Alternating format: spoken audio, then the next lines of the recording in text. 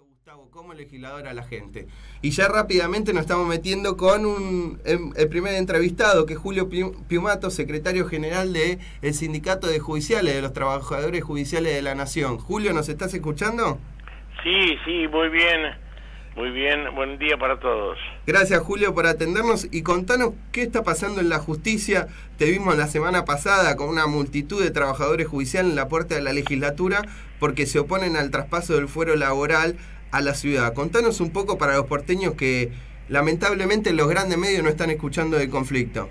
Sí, sí, primero quería felicitarlo a Gustavo por, por esa muestra concreta de lo que es eh, trabajar por el bien común y por una por un país más solidario, ¿no? Desgraciadamente eh, yo llegué muy tarde de afuera, eh, el 16 para estar presente en ese festejo, así que, pero realmente sentí un orgullo, un orgullo propio por una conducta tan coherente. Así que Gracias, Julio. que el Papa lo haya, mm. Francisco lo haya reconocido, bueno, es una, un acicate más porque son muestras concretas. Bueno, respecto eh, al conflicto nuestro, sí, como vos decís, eh, fue una marcha muy importante mm. que hicimos a la legislatura porque se trataba ese día, el, ese día mismo se trataba en comisión.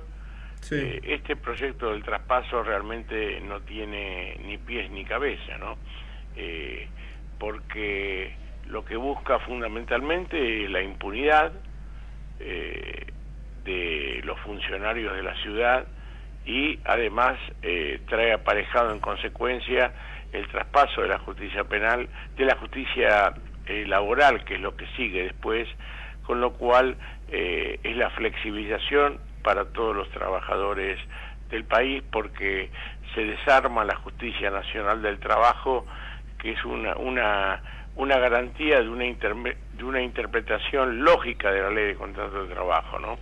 Eh, con este tema no necesitaría modificar la ley de contrato de trabajo porque con el sistema que tiene la justicia de la ciudad y nombrando a los jueces el actual este, el actual eh, gobierno de la ciudad obviamente conseguirían con un superior tribunal que tiene efectos casatorios por el cual sus sentencias son obligatorias conseguirían modificar la interpretación de las leyes laborales en contra eh, del trabajador y en coherencia con todo lo que venimos viendo que son ataques a los derechos de los trabajadores, a los derechos de los sindicatos este, y a los derechos de, digamos, de, las mayorías de las mayorías nacionales, ¿no? Estamos hablando con Julio Piumato, Julio, te quería preguntar, esto, lo que vos decís es fuerte, porque si con esto buscan la impunidad, ¿qué sería el traspaso del fuero laboral a la ciudad y los jueces que ya vienen trabajando con mucha experiencia en el fuero,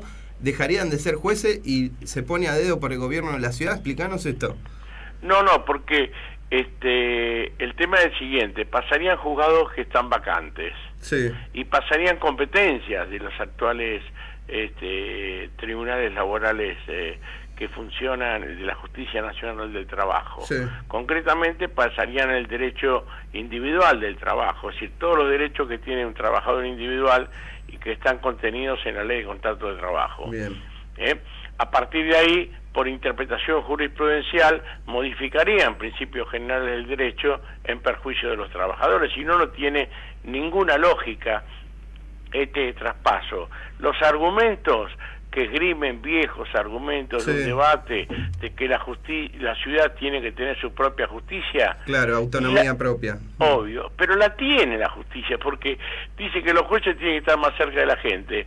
La justicia nacional funciona en la ciudad de Buenos Aires. Claro, y si vemos el funcionamiento actual que tiene la justicia de la ciudad, deja mucho que desear porque se maneja con criterios punteriles mm. donde los jueces fiscales se dividen de acuerdo a la relación entre las fuerzas políticas e incluso no hay carrera judicial porque este, no hay carrera judicial no en la ciudad no es, una, es una ficción porque hay vacantes y también el gobierno de turno es el que mete más empleados en la justicia sin mm. capacitación eh, sin nada y bueno la justicia tiene una lógica que responde eh, a no a la necesidad de tener eh, un poder que realmente cumpla las funciones de la Constitución, no solo de la Constitución Nacional, sino de la Constitución de la ciudad, que sea garantía para los ciudadanos, si no se transforma en un coto de casa del, del gobierno de turno, ¿no? Mm. Y esto es lo que no queremos, nosotros trabajamos porque haya una mejor justicia, pero bueno, esto se engendra en un convenio entre el gobierno nacional y el gobierno de la ciudad para, eh, digamos, eh, nada de lógica tiene en cuanto a mejoramiento. Te doy un ejemplo. Ahora se plantea por esos convenios el traspaso de la justicia, de una parte de la justicia penal. Eh, en un momento donde hay cuatro reformas importantes en la justicia penal que están en pleno comienzo de ejecución.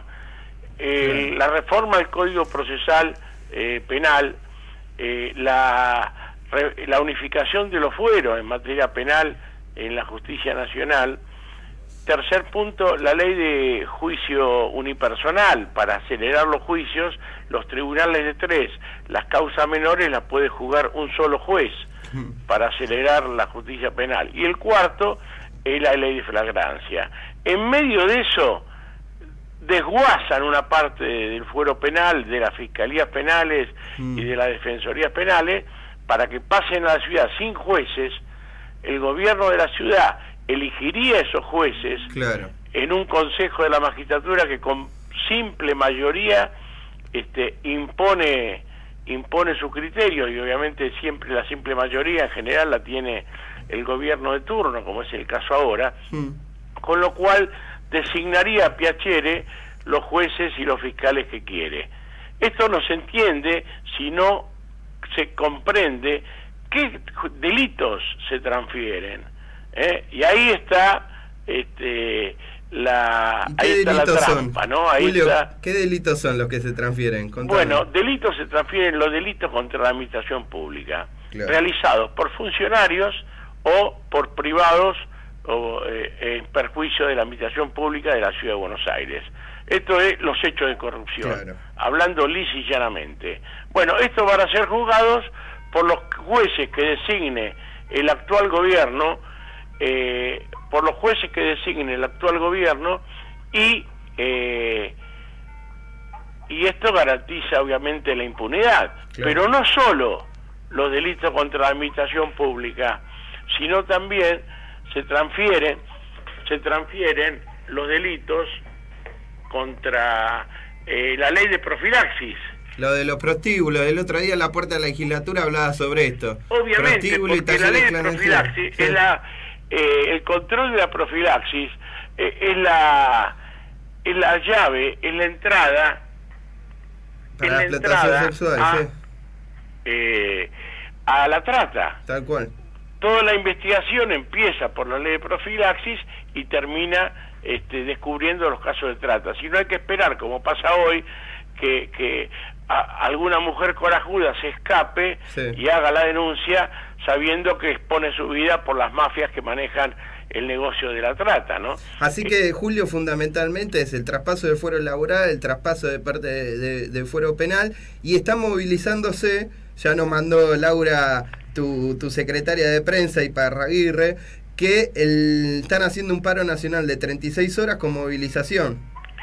Sí, sí, tal cual, tal cual.